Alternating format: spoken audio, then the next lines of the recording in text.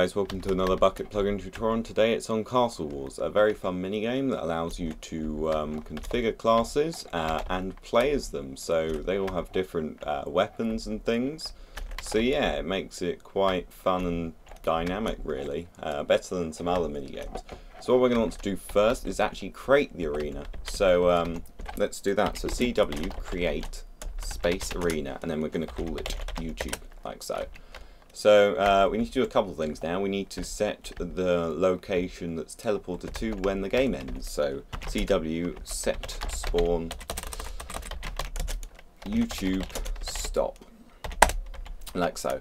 Now we need to set uh, the location of the classes um, where once they join the game they're teleported to here and they can choose a range of these four classes. So uh, let's do that. So um, you do class and then red and then we move over to here and change it to blue. So it's a very similar command to the stop one. And now we're going to want to set uh, the spawns for um, the actual arena. So you just change the word class uh, to team. So the blue team spawns there and the red team will spawn here, like so. Right, there we go. So um, I'll show you how to create a sign in a second. We need to do a couple more things. So we need to set the defense blocks. So um, CW set defense, uh, followed by the arena name, YouTube, there we go, and then we left click all the defense blocks. I've got two here. So we do CW stop select. So the final command we need to do is the auto start command. So what this does is um, it, well, you can choose whether the arena auto starts or you have to perform a command for it to start. So you do CW auto start, uh, YouTube, true, and then following the true, you um, say how long you want the uh, arena to gone for. So uh, two players for it to auto start, and the time's going to be 120 seconds. So um, now we can do CW info YouTube, that shows you information on it, and CW list shows you all the arenas.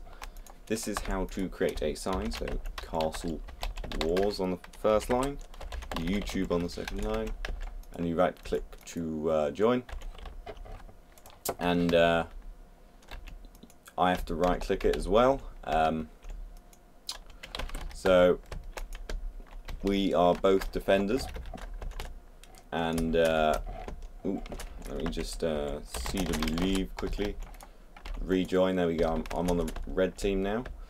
So um, yeah so basically I have to destroy the defense blocks which are in my um, in my castle which is convenient. Um, just makes it a lot easier. So that was uh, kind of them and uh, Park has to uh, defend it. So I should have put the defense blocks in uh, in my arena, in my uh, castle, really. So we could change to um, warrior. So, so, yeah, just like uh, just like Linkin Park here. So yeah, uh, I'm meant to be defending them here, and uh, Park's meant to be killing me and destroying these. So yeah, that's how it works. Um, subscribe, like, comment, and I'll see you in the next video.